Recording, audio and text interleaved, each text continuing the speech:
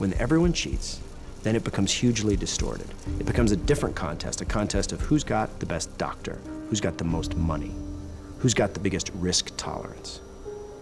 And the guy who was that guy for this era was Lance. That's where it becomes a game of power.